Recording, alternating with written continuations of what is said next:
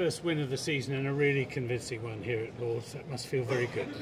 Yeah, it was a pretty perfect week, uh, to be honest with you.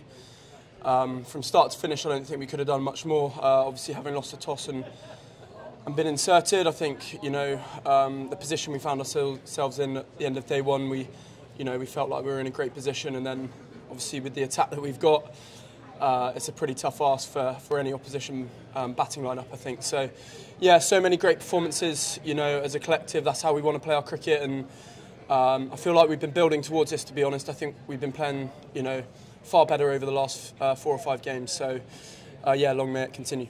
I said on commentary this morning that. Uh, this morning's session was the best bowling session of the season so far for Somerset. Would you agree with that? Yeah, I mean, yesterday they were. It wasn't bad either. Um, but of course, you know, we're we're fully expecting you know today to be a really tough challenge. Obviously, um, yesterday was pretty physical, and you know our bowlers put in a huge effort to bowl them out. Um, so then to ask them to go again straight away, um, you know, I thought that was an immense effort from them all. And yeah, this morning we were so dry, so disciplined, and you know we were patient because sometimes we know how the game happens. There can be partnerships.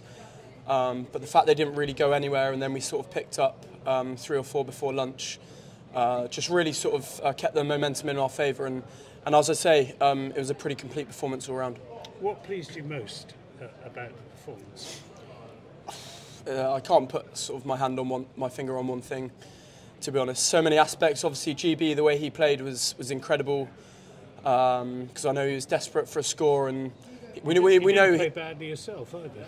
I mean, uh, yeah, obviously very happy. Um, look, we were sort of a couple down early, and me and GB, we've actually quite enjoyed batting together at Lords. Um, you know, we were just intent on trying to um, play what was in front of us and build a partnership. You know, not think too far ahead. And obviously, as the ball got softer, it got a little bit easier. But yeah, just delighted for GB. Obviously, getting 100. Uh, worst places to get 100 as well. So.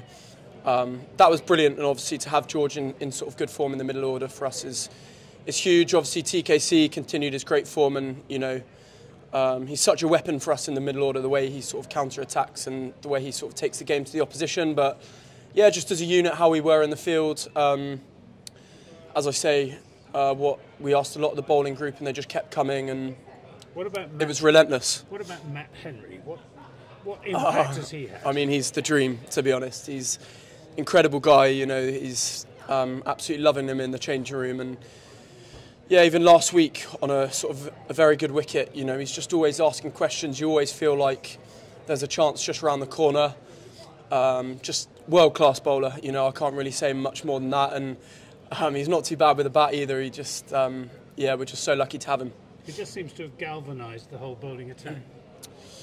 As I say, I don't think we were too far off. You know, previously, I think we've we've been building really nicely and like we've been playing a lot better cricket. Um, but of course, when you you add him into into the equation, um, you know, it just looks pretty relentless. And I just felt like we gave the opposition nothing. You know, there were so few scoring opportunities, and you know, we created a lot of chances and beat the bat a lot. And um, yeah, it's a great feeling, and just delighted for everyone really to get that first win.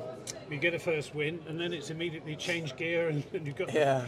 the blast starting on Wednesday in, in a big game against Hampshire, in which you'll be looking for revenge.